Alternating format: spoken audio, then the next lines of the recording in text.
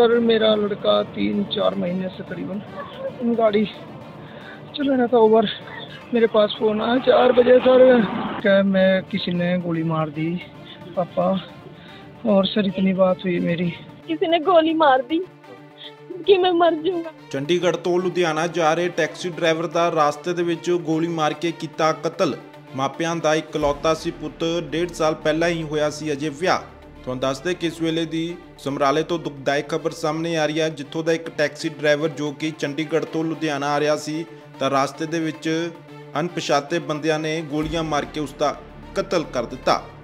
ਤੇ ਅਜੇ ਤੱਕ ਪਤਾ ਨਹੀਂ ਲੱਗ ਸਕਿਆ ਕਿ ਕਿਸ ਨੇ ਗੋਲੀ ਮਾਰੀ ਹੈ ਜਾਂ ਲੁੱਟ ਖੋਹ ਦਾ ਮਾਮਲਾ ਹੈ। ਪੁਲਿਸ ਇਸ ਮਾਮਲੇ ਦੀ ਹਲੇ ਜਾਂਚ ਕਰ ਰਹੀ ਹੈ। ਤੁਹਾਨੂੰ ਦੱਸਦੇ ਕਿ ਤਸਵੀਰਾਂ ਦੇ ਵਿੱਚ ਹੈ ਜਿਹੜਾ ਤੁਸੀਂ ਵਿਅਕਤੀ ਦੇਖ ਰਹੇ ਹੋ ਇਹ ਹੈ ਟੈਕਸੀ ਡਰਾਈਵਰ ਜਿਸ ਦਾ ਕਤਲ ਕੀਤਾ ਗਿਆ ਹਲੇ 4 ਮਹੀਨੇ ਹੋਏ ਸੀ ਟੈਕਸੀ ਚਲਾਉਂਦੇ ਨੂੰ ਡੇਢ ਸਾਲ ਹੋਇਆ ਸੀ ਅਜੇ ਵਿਆਹ ਨੂੰ ਤਾਂ ਜਦੋਂ ਇਸ ਵਿਅਕਤੀ ਤੇ ਗੋਲੀ ਲੱਗਦੀ ਹੈ ਤੇ ਆਪਣੇ ਡੈਡੀ ਨੂੰ ਫੋਨ ਕਰਦਾ ਤਾਂ ਡੈਡੀ ਨੂੰ ਕਹਿੰਦਾ ਕਿ ਮੇਰੇ ਗੋਲੀ ਲੱਗ ਗਈ ਹੈ ਤੇ ਇੰਨਾ ਕਹਿ ਕੇ ਉਸ ਦੀ ਮੌਤ ਹੋ ਜਾਂਦੀ ਹੈ ਤੇ ਹੁਣ ਪਰਿਵਾਰ ਦਾ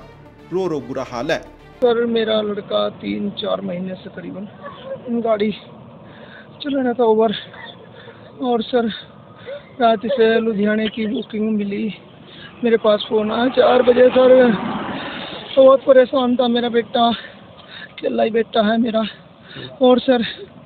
सवा चार बजे ने बात करी कि मैं किसी ने गोली मार दी, पापा। और सर, इतनी बात हुई मेरी। मैंने दस मिनट के बाद फ़ोन करा क्या बाबू तू तो है कहाँ सी?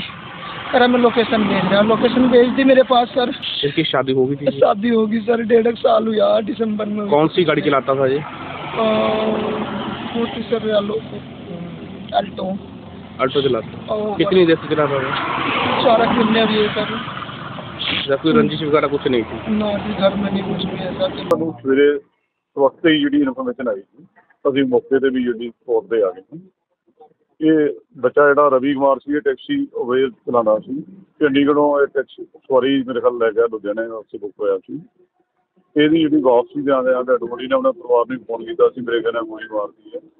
ਉਹ ਵਾਈ ਸ਼ੂਟਿੰਗ ਜਿਹੜਾ ਇਹਦਾ ਮਰਡਰ ਹੋਇਆ ਉਹਦਾ ਹੀ ਕੇਸ ਰਜਿਸਟਰ ਕਰਦਾ ਇਨਵੈਸਟੀਗੇਸ਼ਨ ਕਰ ਰਹੇ ਹਨ ਜਿਹੜੇ ਮੁੱਲਿਆਂ ਹੈ ਛੇਤੀ ਇਹ ਉਸ ਵਿੱਚ ਦਾ ਸਰ ਲੱਕੀ ਦੇ ਵੈਸੇ ਕੀ ਸਮਝ ਆ ਕੀ ਕਰਨਾ ਉਹਦੇ ਦਾ ਅਜੇ ਦਾ ਤਫਤੀਸ਼ ਦਾ ਪਾਰਟ ਹੀ ਆ ਅਡਲਟ ਫਿਊਜ਼ਨ ਦੇ ਹੀ ਕੰਮ ਕਰ ਰਹੇ